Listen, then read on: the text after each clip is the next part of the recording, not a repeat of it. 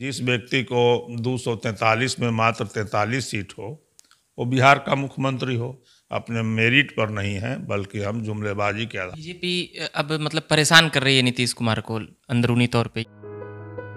नमस्कार, देख रहे हैं झकास भारत और मैं रविकांत। अभी मैं बात करने वाला हूँ प्रोफेसर रामजतन सिन्हा जी से। बिहार के विशेष राज्य की दर्जा का मांग फिर से उठ रहा है और बिहार में लगातार राजनीतिक सुगुगाहटें इधर से उधर हो रही है। मांझी जी भी अपने अलग अलग बयान दे रहे हैं। उसी के नियमित सर नीतीश कुमार जी की पार्टी की तरफ़ से फिर से विशेष राज्य के दर्जे की मांग राग अलापी गई है। नीतीश कुमार जी जब जब राजनीतिक रूप से अपने को कमज़ोर पाते हैं तो इस तरह के मुद्दे उठाते रहते हैं। वह चाहे विशेष राज का दर्जा हो, कभी शराबबंदी हो, कभी महिलाओं का आरक्षण हो काम में कम विश्वास है और उनको इस ढंग के नारों में ज़्यादा विश्वास है। हम समझते हैं कि एक समय जब पूरे राज्य में उन्होंने हस्ताक्षर अभियान चलाया था, विशेष राज के दर्जे के लिए, और विधानसभा में जहाँ तक मेरी यादगारी है, सारे दलों ने सर्वसम्मत से विशेष राज के दर्जा की मांग की थी और ट्रक से एक करोड़ से ज़्यादा हस्ताक्षर करा के ज्ञापन सौंपा था इतने बड़े मुद्दों को लंबे समय तक उन्होंने सत्ता के लिए भाजपा के नाराज़गी न झेलना पड़े इसके कारण से उन्होंने पीछे कर दिया। अब फिर ऐसा लगता है कि उनको खतरा महसूस हो रहा है भाजपा से, भाजपा इनको भाव नहीं दे रही है। फिर इन्होंने मुद्दा उठाया है। और इसी तरह से मुद्दे उठा उठा करके वो सत्ता में बने रहना चाहते हैं। यह विडम्बना ही कहेंगे कि जिस व्यक्ति को 243 में मात्र 43 सीट हो, वो बिहार का मुख्यमंत्री हो। तो ऐसे लोगों को तो इन चीज़ों पर भरोसा और बढ़ जाता है। वो समझते हैं कि इन्हीं कारणों से हम हैं अपने मेरिट पर नहीं हैं, बल्कि हम जुमलेबाजी के आधार पर बने हुए हैं। बीजेपी अब मतलब परेशान कर रही है नीतीश कुमार को अंदरूनी तौर पे या बीजेपी बीजेपी, आप देखेंगे कि इसके पहले इनका विधानसभा का अध्यक्ष था। इन, आज भाजपा का व्यक्ति लोकसभा का स्पीकर लोक विधानसभा का स्पीकर। दो दो उप मुख्यमंत्री इन्हें देना पड़ा। और जो भी प्रमुख, जो विभाग है, वह चाहे पथ निर्माण हो, अथवा आप देखेंगे कि हेल्थ हो तो ऐसे महत्वपूर्ण विभाग, नगर विकास हो, वो सभी भाजपा के पास है। तो सत्ता के कारण इनको समझौता करना पड़ा।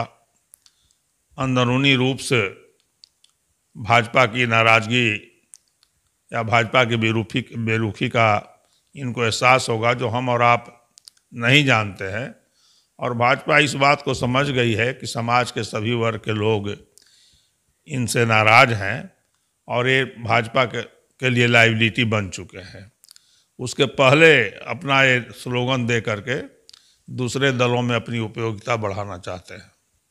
बातें और आ रही है कि 2024 का लोकसभा आने वाला है, सर। उससे पहले यह अंदाज़ा लगाया जा रहा था कि नीतीश कुमार इधर से उधर होने का मन बनाएँगे, क्योंकि अब उनके पास ज़्यादा खोने के लिए ऐसा देखा जा रहा है कि कुछ नहीं है, मुख्यमंत्री के बाद प्रधानमंत्री है। तो यह मन में, उनके मन में लालसा होगी या फिर ऐसा कुछ कि अब बीजेपी को कब छोड़ना है, ऐसा कुछ उनके आप साथ राजनीति किए हैं तो कुछ बताएँ। खोने की संभावना तो कोई इनको खतरा नहीं है, लेकिन पाने की बहुत संभावना भी नहीं है। अब ये पारी इनका ऑलरेडी अपना खेल चुके हैं और एक्सटेंशन पर चल रहे हैं। तो एक्सटेंशन पर चलने वाला आदमी तरह तरह के हताशा में अपनी बातें करता है और उसी हताशा का ही परिणाम है। आज जब सारा बिहार फिर कोरोना के जो आने वाले लहर है, उसे भयाक्रांत है, यूरोपियन कंट्रीज़ लगातार ये चेतावनी दे रहे हैं, उसकी तैयारी ना करके और ये घूम रहे हैं समाज सुधार के। तो समाज सुधार का ही तो एक कदम इनका था। शराबबंदी उसमें बुरी तरह असफल रहे और जो इनके सात निश्चय का जो योजनाएँ थी, वो सारी योजनाएँ पूरी तरह फेल हो रही हैं। इनका खुद का विभाग, जो इकोनॉमिक ऑफेंसेस डिपार्टमेंट है एक एक सी के पास करोड़ों अरबों की संपत्ति मिली है। तो ऐसे सारे पदाधिकारी इनके भ्रष्टाचार में लिप्त हैं। ये अपना, खुद अपने आप को मुगालते में रखते हैं। अफसरों से घिरे रहते हैं। ज़मीनी सच्चाई का इनको पता नहीं है। जहाँ जाते भी हैं, वहाँ भी अफसर से घिरे रहते हैं। और आम लोगों से इनका कोई इंटरेक्शन नहीं होता है। जनता दरबार बहुत दिनों के बाद जब इन्होंने शुरुआत की है तो जो मामले उनको वहाँ उनके पास आ रहे हैं वो चौंकाने वाले उनके लिए हैं। अभी अभी जो परिस्थिति बन रही है बिहार की राजनीति में वो बीजेपी को छोड़ेंगे या फिर बीजेपी उनको छोड़ देगी? ये महत्वपूर्ण।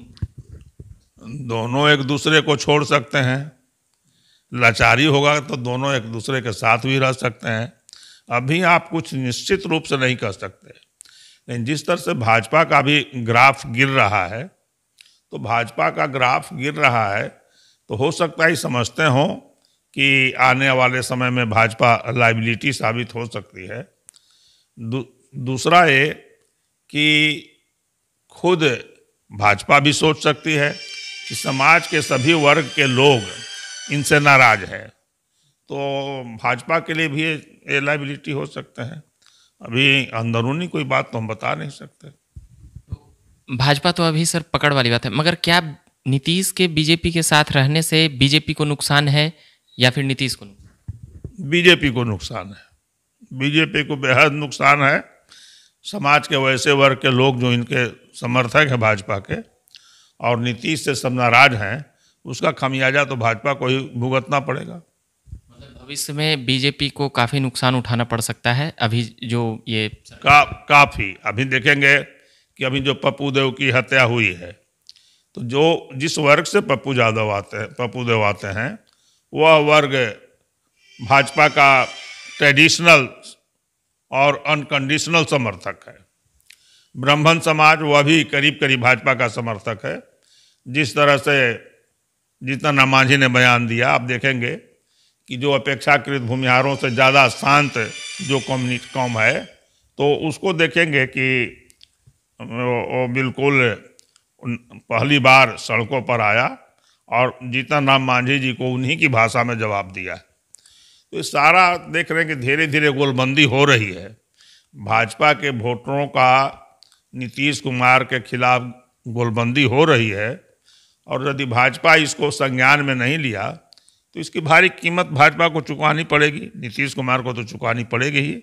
आज अति पिछड़े भी नीतीश कुमार से बहुत खुश नहीं हैं, दलित खुश नहीं हैं तो मिला जुला करके इनके साथ डेढ़ से दो परसेंट कोयरी और तीन चार परसेंट, तीन चार परसेंट कोयरी और डेढ़ दो परसेंट कुर्मी छः सात परसेंट का ही ये वोट बैंक इनके पास है।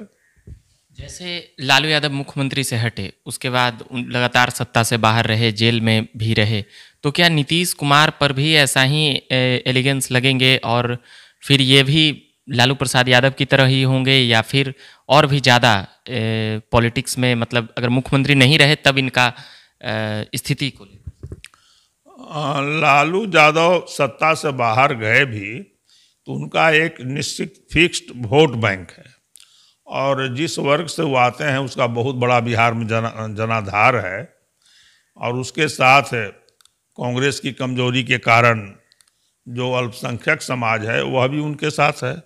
तो दोनों मिला के तीस बत्तीस परसेंट का वोट बैंक है लालू प्रसाद के साथ। जो नीतीश कुमार के साथ नहीं है। लालू प्रसाद साढ़े नौ सौ नौ सौ करोड़ के चारा घोटाले में वो अभियुक्त हैं और जेलों में बंद भी रहे हैं कई बार। उस समय मात्र तेईस हज़ार करोड़ का बजट था। आज दो लाख करोड़ से ज़्यादा का बजट है।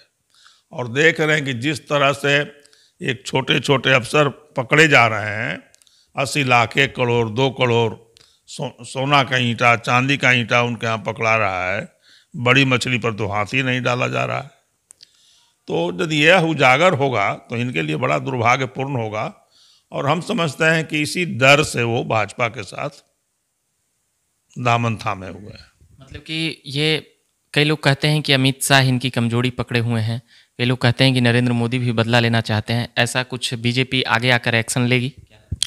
ले सकती है। आप देखेंगे कि अमित शाह और नरेंद्र मोदी की जो जोड़ी है, किसी को अभी तक छोड़ा नहीं है।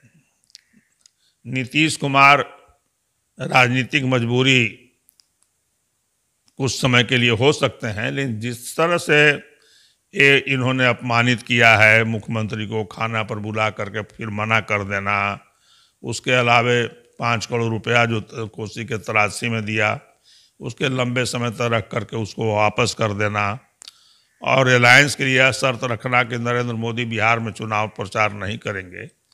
तो यह तो किसी भी स्वाभिमानी व्यक्ति को थोड़ा भी होगा तो यह आहत करने वाला, चोट पहुँचाने वाला है।